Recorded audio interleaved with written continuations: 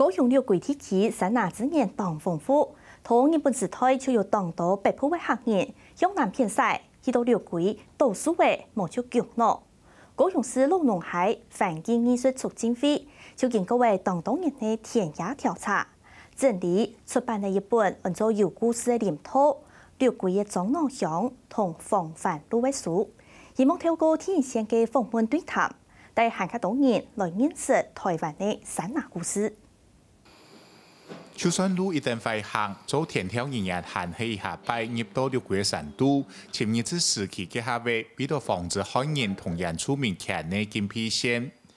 对地方装批来讲，一条全长五十七公里的禁皮线，确保嘅下位局内重要嘅安全。嘅线有盖子，诶，做盖子盖子，诶。这边是原住民爱多，啊，这边是本地人多。伊惊原住民过来这边一杀人，所以讲伊个伊个警备线哦有牵电线，电线内底有电。基本上这条警备线防御的都是大概是朝东向，因为它是一条南北走向的警备线，它的防御在东侧。防范原住民从东侧，我们这边大概主要是布农族为主，从东侧这一台这个地方哈，越过这个林线下到山脚下来，对当初在这边工作脑寮脑丁做除草的行为。从北部客家人西到南部共农的高上，都防止人出面可能重脱强的禁皮线。日本下水六桂三拿三叶的树，跳过一下拜探查同访问来验证，同向百年前先面睇三拿神法。我们有发现到当时生活的状况，包括木木炭窑，或者是我们还有发现很大的那种钢炮，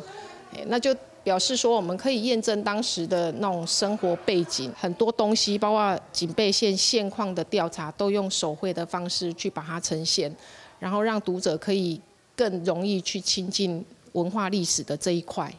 家下日本人睇全台湾多种树强怒，都为降幅初期，台湾的种树已经存冇一到位，